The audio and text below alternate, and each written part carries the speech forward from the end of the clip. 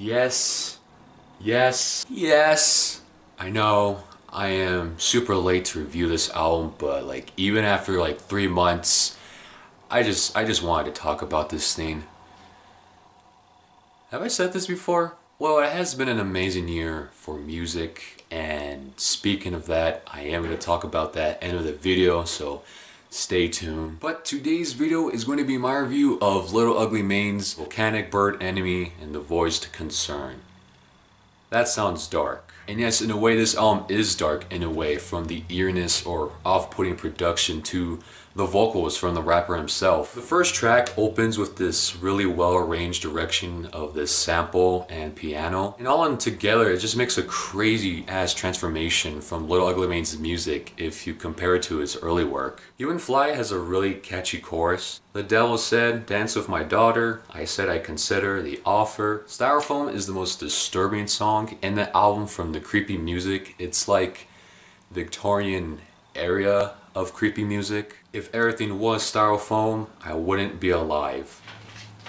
Jesus. The next two tracks I want to talk about that go after this track is Discard and Headboard. Discard is my favorite song in that album, has this really beautiful beat to it, but like towards end of the song you get like the most beautiful electronic piano melody I ever heard. Go hear the song, you, you know why. Then immediately transitions to Headboard and the the beat in this song is fucking incredible. Guitar, the volume, the beat, it's marvelous. Little Ugly Mane's production was always like at a Madlib level. And while this album does have some highlights and good songs, there are some great albums that have amazing songs, but like between those gaps of the amazing songs, there's like good songs that make it bloated, which this album follows that formula, which it makes this album a bit long, a bit bloated. I feel like the runtime could be shorter. I think some songs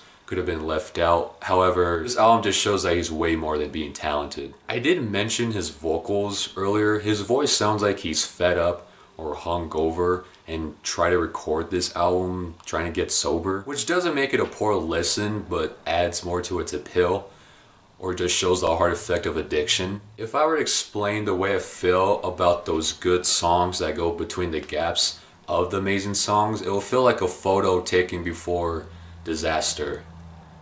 And not in a funny way. Closing track is probably the best track in my opinion. The beat is super incredible. The guitar works so fucking well with the vocals too. This song feels like everything is perfectly wrong. But in this last track, it seems like he acknowledges everything. There's no place to hide. And he's like, fuck it, accepting it. Hearing this album is dark sometimes, amazing at times, a bit long too. However, those ideas are not wasted by a Little Ugly Mane of the direction he's going at, if that makes sense. Overall, this album is fucking well made. I'm giving this an incredible 8.5 on this album and that is my review. So so you're now here. Thanks for sticking along with me for these for this amazing year. I think 2021 is probably my favorite year for music. Like so far, it has been an amazing ass year. Par off way better than last year. But next week I'll probably do like four videos on albums I haven't reviewed but I listened. My top 10 best songs of 2021, my top 10 best albums of 2021, and a favorite list of songs because I don't want to get my I, am making two separate videos of the top 10 songs because I don't want my favorite songs to get in the way of the best songs of the year if that makes sense. So opinion and then the truth so I don't want to make that collide. So that's all I wanted to say. Uh, thank you guys for sticking with me. I will be seeing you next week and have a good day. See ya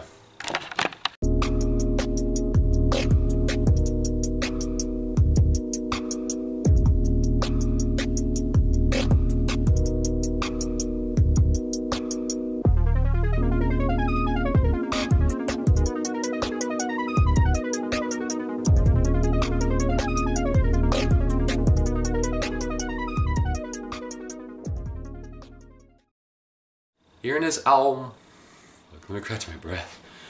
Fuck, all that speaking. I'm out of shape.